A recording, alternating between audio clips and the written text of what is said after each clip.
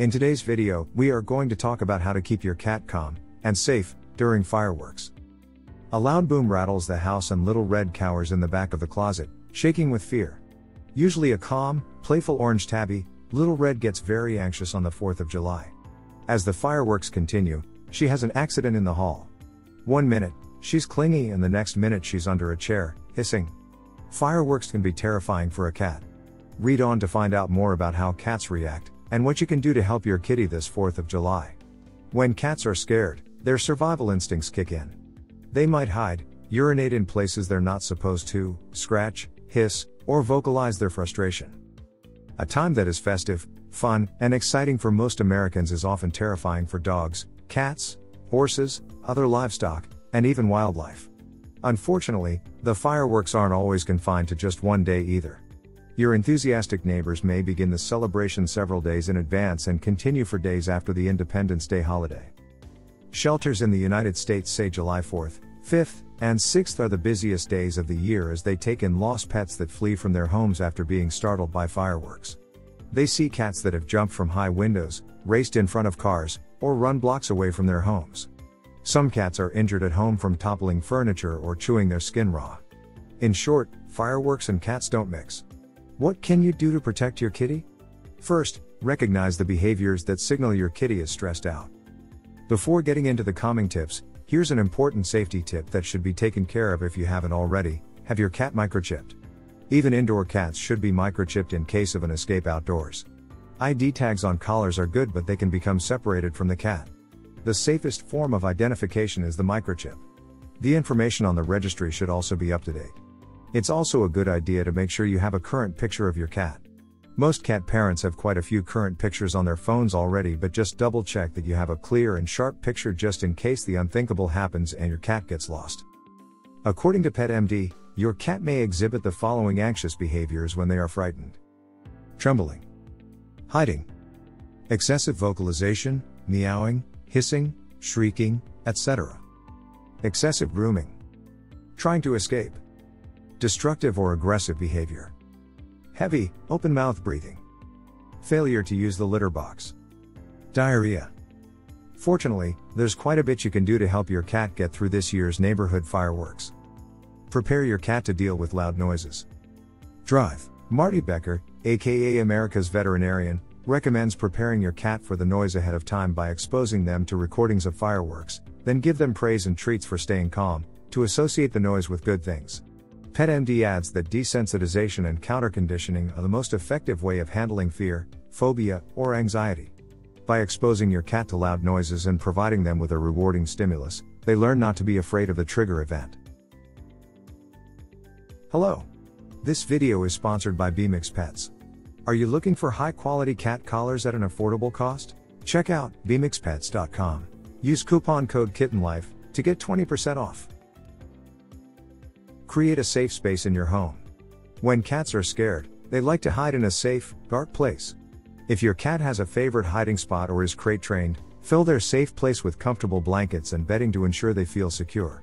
Include their favorite toys or other distractions. Be sure to include a small litter box if their usual box is at the other end of your home. You can also stay in the same room with your cat. Close the windows, pull the curtains or blinds, turn on a fan, and then snuggle up together. Mask the sound of the fireworks as best as you can with white noise, gentle voices, or soothing music.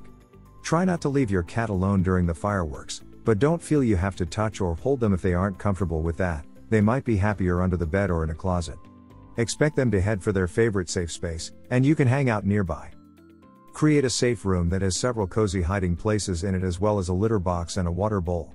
If your cat has a history of being frightened by fireworks or thunderstorms, place her in the room to get settled before all the noise begins. If she's terrified, create a tunnel to the litter box so she can get there without feeling too exposed. You can use a cat tunnel you already have or make a temporary one out of paper's bags. Cut out the bottoms and tape the bags together to make a long tunnel. To prevent your cat from hiding under the bed or in the back of the closet, create a cozy hiding place that provides comfort. You can purchase a cave style bed or you can even make your own by stretching a t shirt over a box. Position the neck hole of the shirt over the opening of the box. Place the box on its side and line it with a soft towel or fleece pad. Prevent your cat from escaping. Noisy fireworks and other celebrations can startle cats and cause them to run away. If your cat is usually an outdoor cat, secure them in an internal room so they cannot escape from a door or balcony if they are scared. Be extremely careful when opening doors that your cat is secured. If you have guests over, make sure they know how quickly your cat could dart out when the door opens. Check screen windows to make sure your cat can't claw or push the screen loose. Panicked cats have been known to pry flimsy screens loose and topple out of windows. As always, make sure your cat has an updated name tag on a properly fitting collar and is microchipped. If you've moved recently, take a few minutes to go online or get on the phone to update your contact information in the microchip database of the company where your pet is enrolled. Distract your cat with sounds and games. Distraction can be the key to making sure your cat doesn't get too upset with the fireworks. While it's tempting to keep the windows open in July, keep them closed to muffle the noise of explosions. Close the curtains before the fireworks start. The flashes of light might startle your cat too. Once the night has arrived, turn the TV on and the volume up. Cats are used to hearing sounds come from the TV and it can help calm them down.